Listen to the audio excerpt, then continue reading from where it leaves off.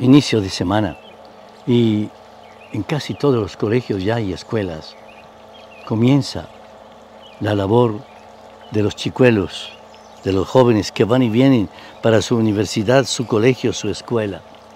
Que a todos los bendiga el Señor, que a todos el Señor les dé una luz, como esta bella luz del Evangelio de hoy. Del Evangelio de San Marcos, capítulo sexto, versículos 53 a 56. En aquel tiempo, terminada la travesía, Jesús y sus discípulos llegaron a Genezaret y desembarcaron.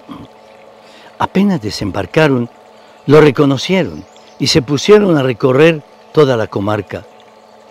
Cuando se enteraba la gente dónde estaba Jesús, le llevaba a los enfermos en camilla. En los pueblos, ciudades o aldeas donde llegaba, colocaban a los enfermos en la plaza y le rogaban que les dejase tocar al menos la orla de su manto. Y los que lo tocaban se curaban. Palabra del Señor. Gloria a ti, Señor Jesús. Y todos los que lo tocaban, todos los que se acercaban a Él, quedaban sanados, quedaban curados.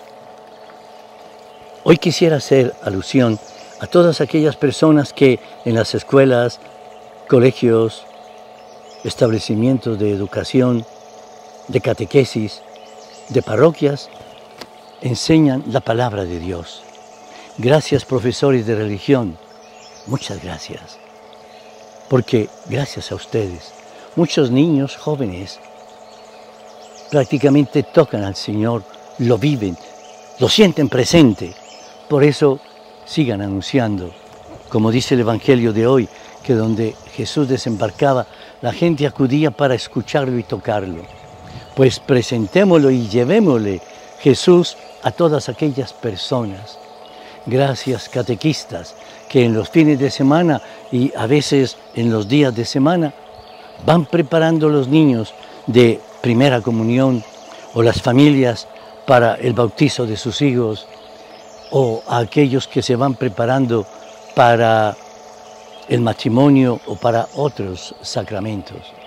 Que el Señor nos bendiga y nos guarde en el nombre del Padre, del Hijo y del Espíritu Santo. Amén.